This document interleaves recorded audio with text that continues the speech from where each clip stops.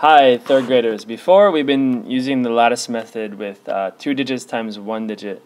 Now we're going to try for the first time two digits times two digits, but nothing changes too much. So here we have 39 times 48. So we write 39 on one side, and we write 48 on the other side. Then, just like before, we're going to multiply. 4 times 9, and then 4 times 3. Think about those for a second. So you know 4 times 9 is 36, and 4 times 3 is 12. Now we do the other side. This First we'll do 8 times 9, then we'll do 8 times 3. So think about those two for a second. So 8 times 9, 72. And 8 times 3 is 24.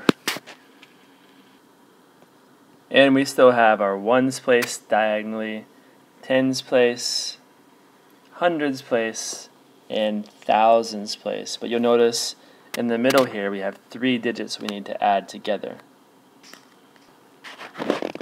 So we can just move the 2 right into the ones place, that's fine. Now we have 6 plus 7 plus 4. I'm going to put the 6 and 4 together to make 10. Then add the 7, which gives me 17. So I'll write the 7 down here, and the 1 I'm going to put up here. Now we have 1 plus 3 plus 2 plus 2. Now there's four digits in here. I know 2 plus 2 is 4, 3 plus 1 is 4, 4 plus 4 is 8. So I will now put 8 in here, and the 1 just comes down here. So the answer is 1,872. Now let's take a look at your HomeLink 9.11 and we'll do the first problem together. So we have 20 times 38 using the lattice method. Okay, so first of all, we will go 3 times 0, then we will go 3 times 2. So 3 times 0 is 0. 3 times 2 is 6. Be sure to write 6 on the right side, not the left side. Then we go down to the bottom, we're going to go 8 times 0 and 8 times 2. Again, 8 times 0 is 0. And 8 times 2, think about it for a second, is 16. Now we do ones place, tens place, hundreds place, thousands place. The, the addition here is pretty easy. Just move the 0 down. 6 plus 0 plus 0 is still 6. 1 plus 6 plus 0 is 7. And you don't need to do anything with the 0 there, so the answer here is 760. Now next we need to do the partial products algorithm, which we've also never done with 2 digits times 2 digits. So let's try that.